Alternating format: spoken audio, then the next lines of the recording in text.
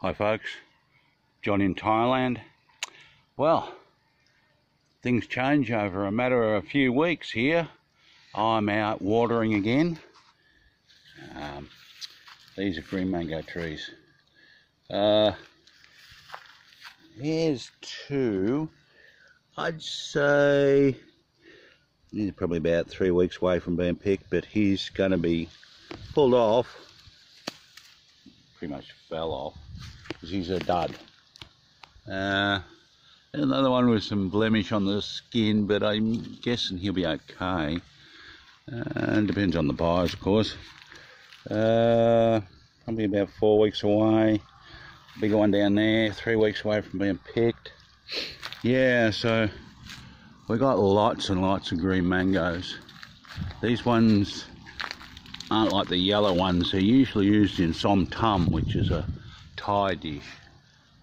You can see they're all different sizes. some of them are really good, some of them are pretty average. Uh, still got lots more to come. You can see the little buds there. Some of them have got flowers on them already. Uh, yeah, I'd say we'll have about four picks, maybe five picks this year uh, over a period of about three months. Yeah, so pre-Christmas, definitely got green mangoes, a hell of a lot of them. And uh, we're bagging, or I, I didn't bag, but uh, Tick and some of the other girls here bagged today uh, Nam Dok Mai, which is the yellow mango. Ah, oh, crap, I'm going to walk through all this water now.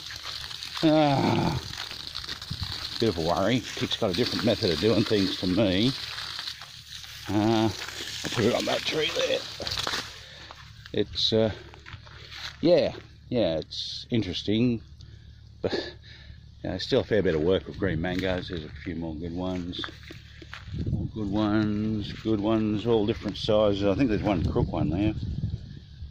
Yeah, that one's no good. Come off. Uh, yeah, so will be a good year definitely a good year, but not too sure what sort of money we're going to make off the green ones, or, or the yellow ones for that matter. Yeah, so lots of mangoes. All right, then we'll I'll get onto this watering, which is a bit of a bum. I've lost my water pressure. Uh, see what's happening. Maybe I'll kick the hose. Bye now, folks. Have a good day.